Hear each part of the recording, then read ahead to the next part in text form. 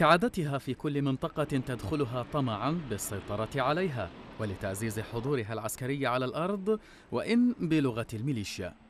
ميليشيا الحشد تعزز وجودها عسكريا في مناطق جنوب محافظة الأنبار لمواجهة تنظيم الدولة في المنطقة لا سيما بعد هجمات نفذها التنظيم في الآونة الأخيرة هناك.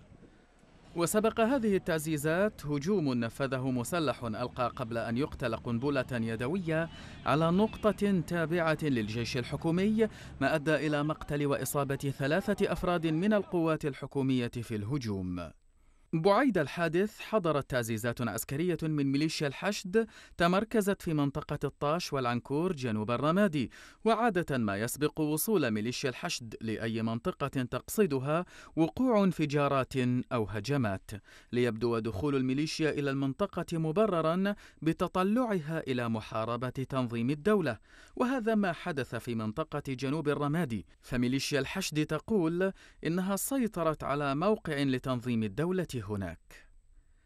حالة عدم استقرار في المنطقة يزيدها سوءا حضور ميليشيا الحشد إليها ما يزيد عن 45 جريحا وصلوا الأربعاء إلى مستشفى الرماد التعليمي كانوا أصيبوا بهجمات لتنظيم الدولة استهدفت مناطق منها الطاش والسبعة كيلو والمجر.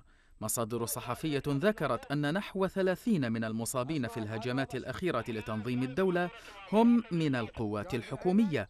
هجمات تشي باحتمالية تجددها من حين إلى آخر لا سيما بعد التمركز الجديد لميليشيا الحشد في المنطقة. وإلى جانب هذا تفرض الأجهزة الحكومية حظر تجوال في مناطق جنوب الرمادي كلما وقعت هجمات أو حدثت اشتباكات. تقول المعلومات إن عناصر ميليشيا الحشد حاضروا بكثرة كذلك هجمات تنظيم الدولة حاضرة وبكثرة ولم تنتهي بعد. ما يعني أن مناطق واسعة لمدنيين لا ذنب لهم؟ باتت حلبة صراع لا يعرف أحد متى تتوقف.